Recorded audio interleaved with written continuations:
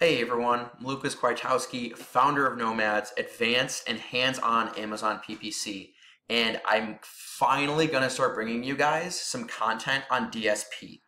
So I've been working over the past few months to get DSP accredited and slowly starting to introduce some of the brands that I manage to DSP. Now, if you've never heard of DSP before, the quickest way to describe it is it stands for demand side platform. So everything that we do in Seller Central with sponsored products, sponsored brands, that is search. That's that's point of sale. You pay for clicks. You get the customer when they're at the very end of their shopping journey and it's made for conversions. DSP, demand side platform, is built, is paid by impression. It's more top of funnel. It's built to build brand awareness, to retarget to customers. It's a different way to think of ads.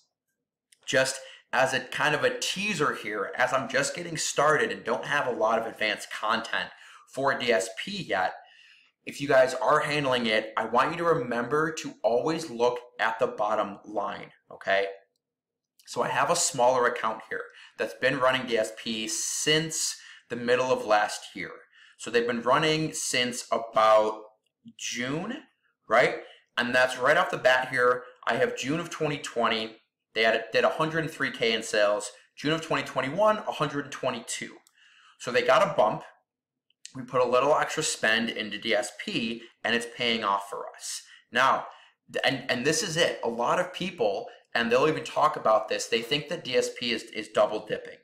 So they'll double down on spend, right? They'll increase their spend, and their overall numbers won't go up.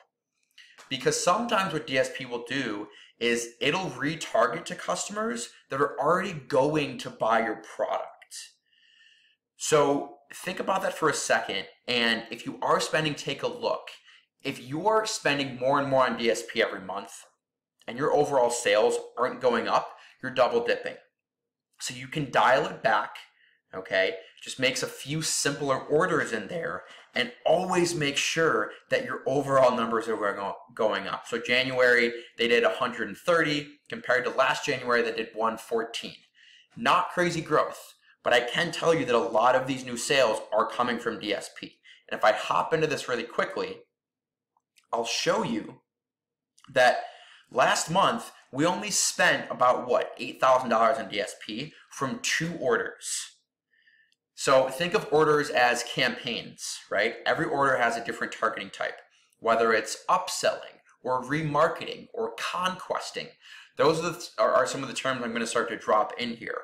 And we started this with a lot of other orders. We were doing everything, spending, you know, spending 15,000 a month at some points.